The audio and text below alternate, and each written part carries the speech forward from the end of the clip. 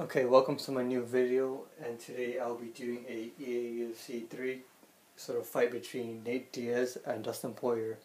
And actually the interesting thing about this was that I simmed two of the fights and Poirier won by head kick the first time they fought and Diaz won the second time by a overhand hook.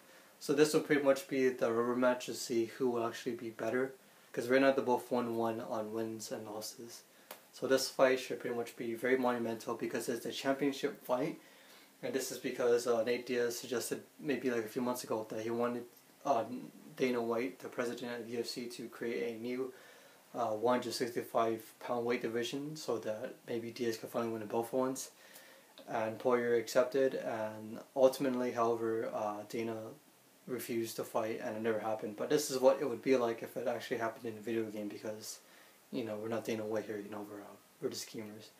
So of course Dustin Poirier obviously has heavy heavy hands, won three fights in a row by KO, and he's a former fight of the night winner. So if Dustin Poirier was seeing sort of a fighter that's very very similar to Cub Swanson, uh, sorry Cub Swanson, a very uh, stand up stand and bang kind of fighter, but he also has um some ground game experience being a brown belt in Brazilian Jiu Jitsu. And let's see his opponent here with Nate Diaz now, the man that choked Conor McGregor out, and obviously exploited Conor for his uh weaknesses within the UFC sport. And here he is, um, Stockton's own Nate Diaz. He's back into the game now after uh, losing to Conor by decision, I think, last year. And let's look at some of the statistics for Nate Diaz here.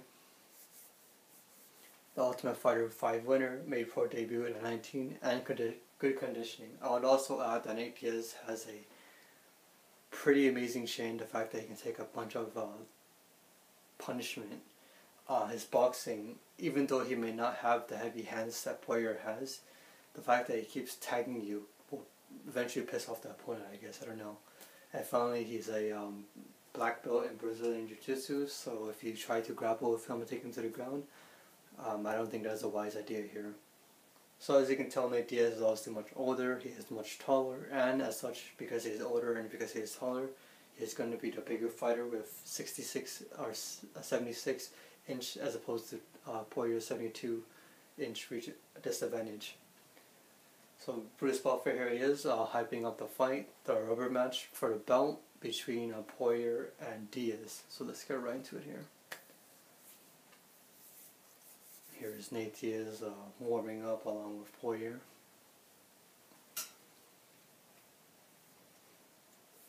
Here we go both men, uh, I think they have a lot to uh, really gain or lose, you know, because this is a rubber match, because this is a simulation, and because this is for the belt. I think both men want to come into this fight with the with their game plans from the coaches and their partners and a full camp, you know, ready. They want to make sure that when they're fighting these kind of fights, you know, that the nervousness doesn't get the best of them, that they follow what their coaches and and people and supporters say because if not, if they fuck up, then it's their fault that they don't come home with the belt.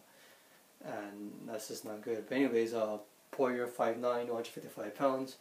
He's from Coconut, or he's fighting from, sorry, Coconut Creek, Florida, United States of America.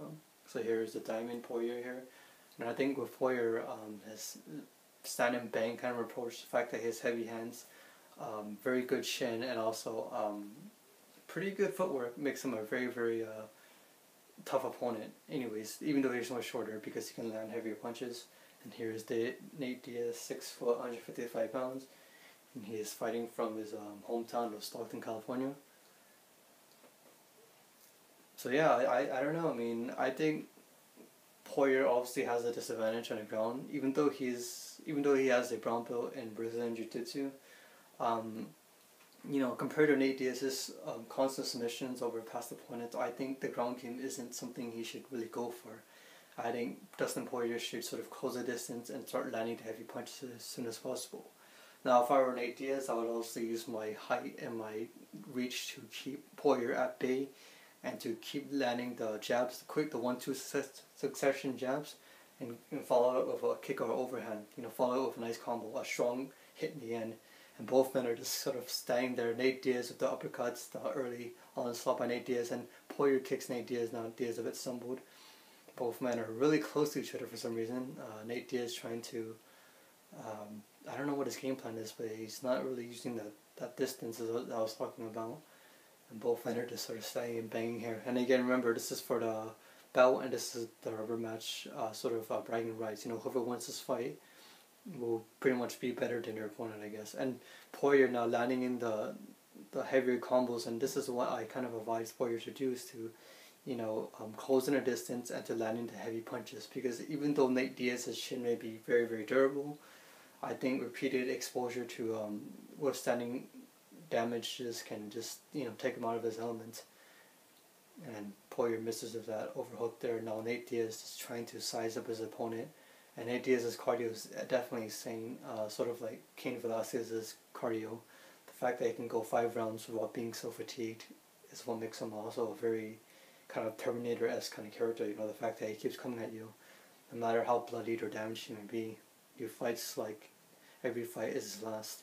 And Poirier now going for the ground. Very nice takedown here by Poirier. Uh, but he has to watch out for Nate Diaz's submission. And Nate Diaz already goes in for the guillotine, the uh, front neck guillotine, and he has that shit pretty synced in. And Nate Diaz now, he might actually win his fight by submission here. Let's see if Poirier can hold on. And he taps! Nate Diaz wins by uh, a, a, guillotine, and I think that was the plan Nate Diaz all along was to um, withstand the heavy punches of Poirier, and once Poirier took Nate Diaz down to the ground, he was fucked from the start. And obviously a very, very, uh, let's look at replay here, a very, very tight choke as you can tell both arms wrapping around the neck like an anaconda squeezing his opponent's uh, um, squeezing the life out of their opponent and that's a very very tight neck snap there. If anything you might actually rip his head off or some shit like that but honestly was I really surprised? Not really. I mean you know like I said even though Poirier has jiu-jitsu even though he's a brown belt you know it does not compare to Nate Diaz's constant submission uh, wins over past opponents. You know, it doesn't make much of a difference. And I think that is something uh, Poirier will always be lacking is the ground game, you know. So it was interesting to me that Poirier would actually go and take Nate Diaz down. You know, he was doing really good on the stand-up game, but I don't know why he shot for the takedown. You know, and that was his biggest downfall was that maybe he got a bit too cocky. Maybe he thought, you know, by tagging Nate Diaz, by sort of making him stumble, that he could finish him on ground and pound. But Nate Diaz had other ideas. And here is their new champion, Nate Diaz, finally winning his first belt in EAUFC 3. But who knows if he'll win a belt in a real life uh, UFC environment. But with that being said, that is my commentary for now. I will probably be doing two other commentaries on different fighters. And with that being said, thank you for watching my video, and I will see you guys in my next one.